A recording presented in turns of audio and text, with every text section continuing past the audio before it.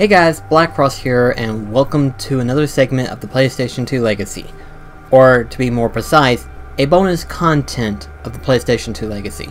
Now, bonus content is basically, as stated, is bonus content. It's extra stuff that goes around with the PlayStation 2 system, uh, either fun facts or little different products and stuff like that, or fun little facts you probably didn't know about the system, so on and so forth. Today, I want to actually make this video. Um, this is actually being recorded on the day of, but uh, I did have another main episode planned, but then I decided to change that and just make this video happen because as of a couple days ago, when this video gets released, on March the 4th is the 20th anniversary for the PS2. The system turns 20. Now here's the thing, this is going based on the Japanese original release system, uh, in America, we got it on October 28th, and in other countries, it was another date entirely. Uh, but in Japan, it was released on March 4th. So as of right now, it is officially 20 years old. Kinda hard to believe the system's that old now, but it is true. It is officially 20 years of age. And boy, you, um, for those of you who are of my age, which is 30 and up, you feel it. You feel the age of the PS2. And I wanted to dedicate a video for the PS2 because of how much how much it resonates with me as a gamer, not just someone who played the system, but has resonated with me as I have grown in age. And it's definitely something that I wanted to talk about for a while, and I figure why not go ahead and talk about it in this video. So sit back, relax, and enjoy the video game story of me and the PlayStation 2. So the first part of the story basically goes back obviously when the PlayStation 2 first came out. Now, of course, we didn't get the PlayStation 2 right off the back, which technically would have been October 28th for us, but we didn't get it on year one, obviously. Um, me and Delmar, our very first console we've ever gotten was, of course, the N64, and we had always played games on the N64. And uh, even though we didn't play every game, we were content with whatever game we had at that time period. Um, but when the PlayStation 2 came out, uh, in one of our uh, VHSs that we would watch, I think if memory serves me, and again, Delmar had mentioned in the past, but uh, there was a trailer on one of the VHSs where it showcased Kingdom Hearts, and it looked it amazing, of course. And my brother ended up getting both Kingdom Hearts and a PS2 on his birthday. And technically, Kingdom Hearts came out on the 28th of 2002. Uh, my brother played uh, Kingdom Hearts, you know, he would play it uh, more or less tried to. Uh, there were points in the game where he had trouble, and that was, of course, the bosses. Anytime he would play a video game and he was always afraid of fighting the boss, he'd come get me. He'd be like, Big bro, do you care to help me beat this boss? I'm like, sure, no problem. And I would beat the boss. But with Kingdom Hearts, at the time, it resonated with me in a way differently. I was familiar with how games would play on the N64. I never knew there would be other games that could play differently and a lot better looking, might I add. And keep in mind, this was back in 2002, so even though graphically it looks different now, back then it was still quite a jump, you know. Think about it, you compare the graphics of like Super Mario 64 to PS2 Kingdom Hearts, yeah, that was a pretty big jump in terms of quality that it looked. And at the time, to me, it looked at absolutely jaw-dropping amazing. But, uh, I ended up wanting to play Kingdom Hearts for myself, so me and Delmar actually took turns to play Kingdom Hearts. Now, fun story, this was actually before we discovered the invention of the memory card. Now keep in mind, again, we played mostly the N64, so we thought the game saved on the disc whereas in the 64 it's saved on the car uh, cartridge. Not exactly the case. It wasn't until a, few friends of ours told us we had to have a memory card, and I was like, why do we need a memory card? And of course, this transition began. And so we finally got ourselves a memory card, and we were able to advance. into the story of Kingdom Hearts. The farthest we ever got in Kingdom Hearts was in the Tarzan's world, Deep Jungle. That was the farthest that we ever gotten to without actually needing a save data. So if you calculate time-wise, we probably spent a close to like maybe three, four hours of gameplay trying to get through Kingdom Hearts and stuff like that without a save file. But another thing that uh, I learned was that you could actually override your save data. And at first, you know, being dumb version me back then, I was afraid to do that because that might mess up something or whatever. So I saved, I kid you not whenever I say this, I saved on every slot. So imagine younger me playing Kingdom Hearts, and keep in mind if you played Kingdom Hearts back in the day, it had 99 save slots. So think about it. I had gotten all the way up to Hollow Bastion at one point, and my friends saw that I had like almost 90 slots of save data, and they were like, "Why do you need 90 save slots?" And they're like, and I was like, "Cause I didn't want to override the data," and they're like, "You're supposed to," and I'm like, "What?" So I was very least informed with technology back then where I am now, but yeah, that was my spirit, my first experience with the PlayStation 2. I learned a little bit better since then, but I was, I was, I, I didn't know anything, of course, back then. You know, this was a completely different thing for me. The PlayStation 2, Kingdom Hearts resonated really big with me back then. But more so as the years went on. Uh, a couple years later, me and my best friend, TJ, uh, we have been friends for years, you know. We don't see each other nowadays because life tends to separate us. We can't get a day off on the same time and stuff like that, and so things happen. But, uh, me and TJ, the biggest thing that we share is that we love the PlayStation 2. Some of our favorite games, some of our favorite titles originated from the PlayStation 2. And, you know, during our friendship, my best friend TJ introduced me to a bunch of PlayStation 2 games. A uh, perfect example is Devil May Cry 3 and Resident Evil 4. Being at the age that I was, which was like between 13 and 15, my mother was very protective. She didn't want me to be to as the phrase would go, explore my horizon and experience the risk and whatever comes out of. She was very protective. So I never got to experience rated mature games, or or in this case, uh, rated T games, perchance. So naturally, not being able to play these other titles, I never got a chance to experience them. Of course, my buddy TJ, however, he allowed me to experience them because uh, his parents wasn't as protective on him as my mother is to me and Delmar. But my buddy TJ he uh, introduced me to Devil May Cry 3 and Resident Evil 4. And for my birthday, he got me Devil May Cry 3 Special Edition, and then he got me Resident Evil 4. And I love both games. Those games have become my, some of my cherished memories that I have attained it. Now, of course, uh, there was one other game that he introduced to me, but we'll get to that in just a sec after I talk about one other major story that me and him has, and this is the biggest memory that I have when it comes to the PlayStation 2, and that is the fact that it involves Final Fantasy X. Now, Kingdom Hearts is my personal favorite uh, video game of all time. My best friend TJ, however, his favorite game of all time is actually Final Fantasy X. And it's interesting because this is actually the very first Final Fantasy game that him and I ever got to play. And we never got to experience another PlayStation, uh, another Final Fantasy game beforehand, and we both played Final Fantasy X. Now, of course, we got the game back in Knoxville years ago, and he got his copy. I got my copy at the same time.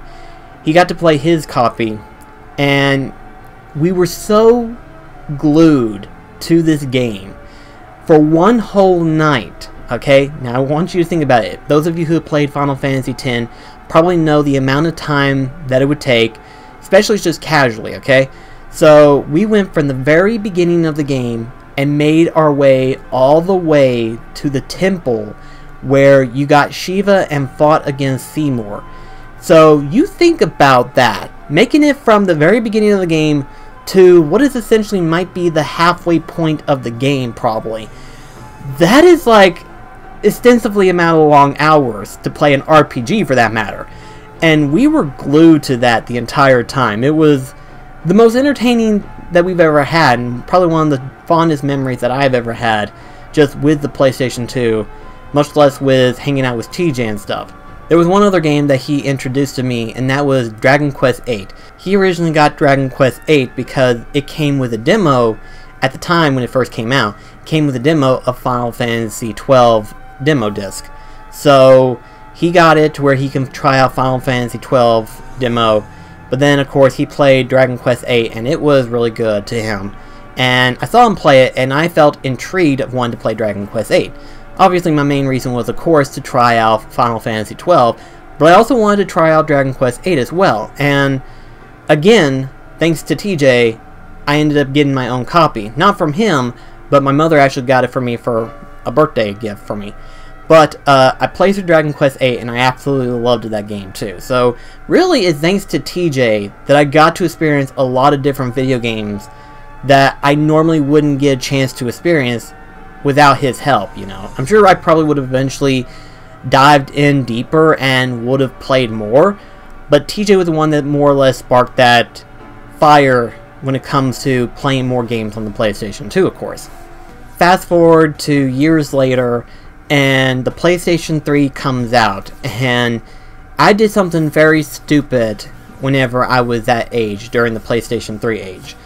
And I would trade in some of my games to get new games that was coming out for the PlayStation 3. And of course, during that time period, the PlayStation 3 had the transitional phase of where it would occasionally release HD collections of previous games, such as the God of War HD collection, the Jak and Daxter, Sly Cooper, Ratchet and Clank, so on and so forth. And I was stupid enough to trade in most of my original PlayStation 2 games. Uh, I remember whenever I was a kid, I had a full set of the Dot Hack series for the PlayStation 2. The first four parts and then three parts of GU. I had those, and I recklessly traded those in in order to get new games that was coming out for the system. So, for the most part, most of the games that I had, I don't have the original versions of. For example, I don't have the original uh, Devil May Cry trilogy that I had gotten. I don't have the original uh, Resident Evil that I got from TJ.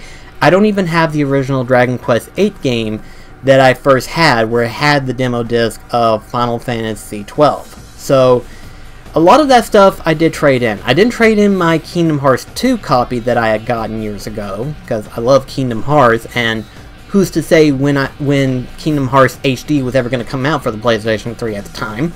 It was like one of the last HD collection that finally got released for the PlayStation 3, and then a couple years later it got released for the PlayStation 4. So, um, yeah, I was stupidly trading in stuff, and I regret that, really.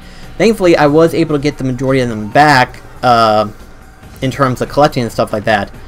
But, um, most importantly though, I felt this weird transition during this time period. I played a lot of PlayStation 3 games during that time period, and I felt like we was entering in a realm of where gaming was finally going to go downhill from here. Uh, this was my thinking, of course. And the PlayStation 3, while I did have a lot of PlayStation 3 games that I did enjoy, there were a lot of other PlayStation 3 games that just didn't resonate well with me. I felt like the quality of gaming had diminished, you know. To trade in a better looking game, you had to sacrifice how the gameplay for most games was going to be. We had this trend of button mashing, we had the trend of like multiple shooter games, multiple zombie apocalypse games, we had this trend of just repeating over and over of the same type of game, and I was getting burned out so badly that I said to myself, I don't care about what the next generation is going to hold. I'm going to go backwards and look into the PlayStation 2 because I'm sure there's a lot of games that I never got to experience.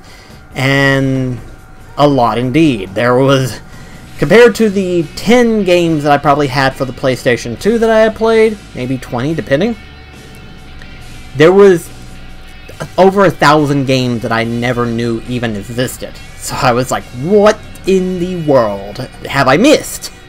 And one of the first games that kind of sparked this fire, uh, fire, fire was that of Shin Megami Tensei Nocturne. Technically, this is the third entry of the Shin Megami Tensei series. And I got it because it featured Dante from Devil May Cry. So I was like, okay, let's see what this is like. And it was an absolute joy to play. I absolutely loved the turn based. I loved the risk and reward that it had in the game. The fact that you can uh, bribe uh, to get other demons to join your party and stuff. The fact that depending on critical damage or bonuses that you're able to achieve, you actually get an extra turn that you can use and stuff. It really made for a really great strategy RPG game. And then a few months later, after I discovered Shin Megami Tensei Nocturne and said to myself, that's it, I'm sticking to retro games, I find out that Kingdom Hearts 3 and Final Fantasy 15 was going to be put onto the next console generation. And I was like, damn it! but then again, I probably wouldn't have gotten a chance to play through great game titles like uh, Bloodborne or The Witcher 3, stuff like that. So I'm glad that the PlayStation 4 has definitely improved since the PlayStation 3, but I'm not going to deny that I still have that same feeling for the PlayStation 3 in terms of quality of gaming. But I still go back to play through the PlayStation 2 to experience some of the games that I never got to play through and get some more favorite game titles that I never got a chance to play before. For example, the most recent PlayStation 2 game that had become one of my personal favorites now is Blood Would Tell. And the way I found out of Blood Would Tell was whenever I first subscribed it to Metal Jesus. He had, at the time, a lot of different uh, hidden gems videos for the PlayStation 2. And one of these games he mentioned was that of Blood Would Tell. And I looked at it and I was like, this sounds pretty interesting. And I looked at the price and I was like, oh my gosh, what the heck?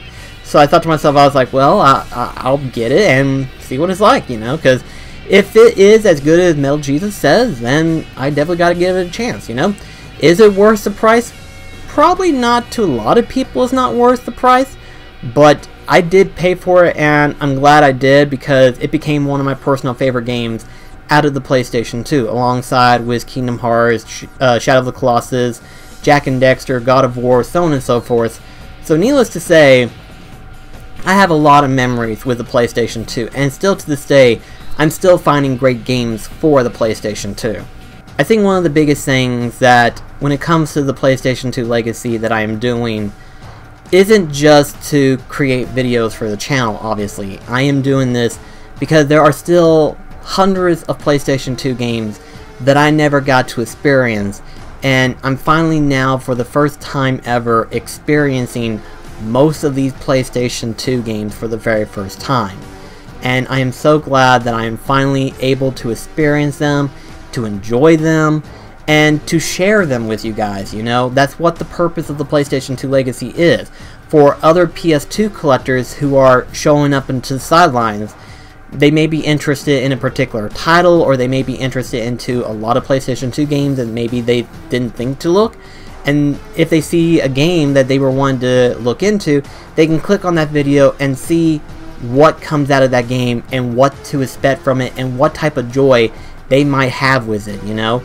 Admittedly, like I said, in terms of US releases, there are over 1,700 PlayStation 2 titles.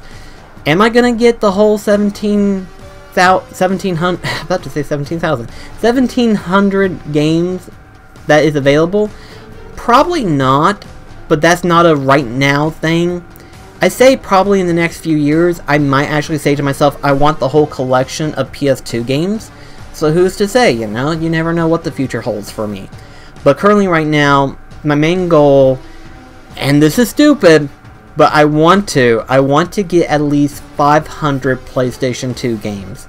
At least for the time being. Because even though, yes, there are a lot of other ones, I'm not a big fan of sports games, nor am I the best or the biggest fan of racing games. So, there's a lot of sports games, and there's a lot of racing games. So, while I'm not a fan of either one of them, I might give me a couple of racing games just to enjoy them and stuff. So with that being said, guys, thank you so much for watching this little mini story that I have in regards to the PlayStation 2. And I hope you enjoy this because 20 years. It's hard to believe it's been 20 years since the PlayStation 2 first launched. And you know what? I'm glad that there's a lot more people coming into the light of the PlayStation 2 because it is an incredible system in my personal opinion. And hopefully, I am hoping that when we finally do get the PlayStation 5, that it is fully backwards compatible because that would mean that a lot more people can experience these other games on the PlayStation 2 that they never got to experience whenever either they were younger or because of the newer generation they didn't have a chance to experience. So this would be pretty cool if that ends up being the case. But thank you guys so much for watching and I shall see you in the next video. Thank you so much. Catch you later.